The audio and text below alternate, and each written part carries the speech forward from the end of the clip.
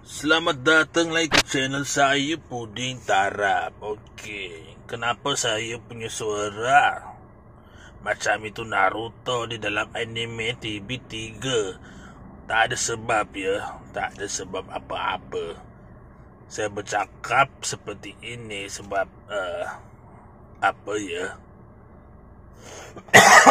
Kau tengok ukulan sudah. apa ya?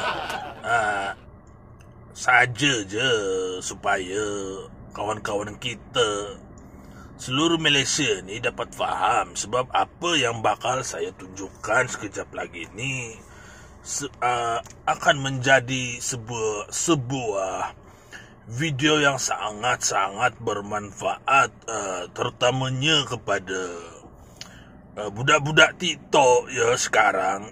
Budak-budak TikTok ni tak ada apa? Tak ada kemahiran seperti ini ya. Tetapi bila mereka uh, membesar telah membesar dan menjadi dewasa nanti uh, mereka akan bakal mencari video ini. Uh, yes itu saya yakin 100% ya.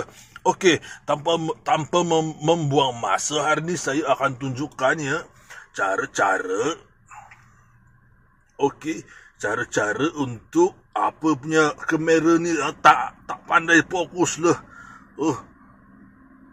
Okey hari ni saya akan tunjukkannya cara-cara untuk save uh, channel frekuensi radio yang ada kat kereta korang tu. Tak kira lah kereta korang tu Honda ke Toyota ke Vios ke Hilux ke Berdungal ke tak, tak kisah. Yang penting kereta. Yang penting kereta ada player macam ni. Itu dah cukup memadai.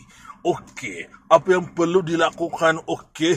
Permulaannya. Mula-mula. First. Kita tekan button on. Okey. Setiap player ada button on. Okey. Kita perlahankan dulu uh, musik yang tak berapa nak sedap ni. Ya. Yeah kita perlahankan muzik je. Okey. Saya ingin cerita sikit ya, ringkas saja pasal button on. Setiap player ada button on. Jadi kalau tak ada button on, apa pasal kamera aku ni ah? ah, barulah. Okey. Kalau kalau player korang tu tak ada button seperti ini tandanya uh, player kamu player korang tu dah rosak agaknya. Tak apa. Okey.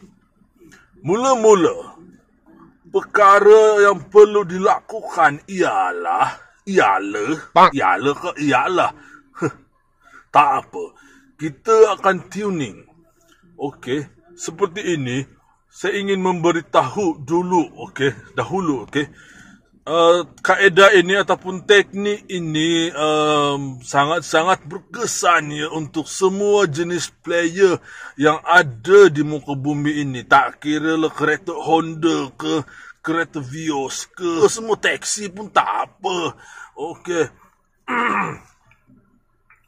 Mula-mula, kita akan cari, kita akan tuning uh, radio yang kita suka. Seperti saya, saya suka, uh, saya sangat suka channel ini.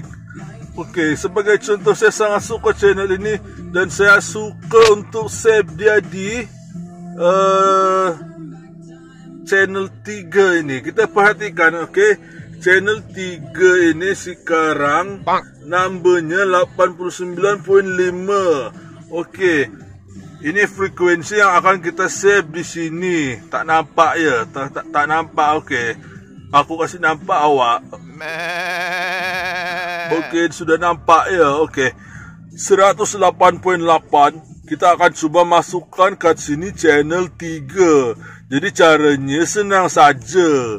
Kita perhatikan number ni 89.5 dia akan menjadi 100.8 sekejap saja lagi. Jadi caranya caranya kita cuma tekan hold, okey? Tada. Alamak tak jadilah. Sorry guys. Sorry guys. Okey. Katakanlah kita ingin save 96.3 dekat uh, channel 3 ni. Jadi sekarang saya akan tekan hold lama sikit. Dalam uh, 5 saat begitu. Okey, sekarang kita perhatikan ya.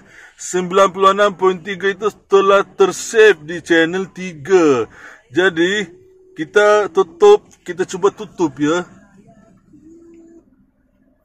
Kita cuba tutup uh, player ni. Kemudian kita akan pasang semula dan kita akan tengok, kita akan lihat di sini uh, numbernya itu tak akan berubah dan tak akan hilang lagi sekiranya kereta awak itu dimatikan kecuali baterinya dicabut ataupun baterinya terbakar. Ha, jadi kita cuba lagi di untuk channel keempat ini. Kita cuba cari channel yang lebih lagunya tak berapa nak sedap tu. Okey, katakanlah kita suka uh, uh, channel ini, okey, 98.6. Kita akan cuba save 98.6 ini di channel 4 yang mempunyai 103.2 frekuensi. Jadi kita ulang uh, cara yang tadi itu. Kita cuma hold saja. Dalam 5 saat uh, frekuensi di atas ni akan masuk kat sini.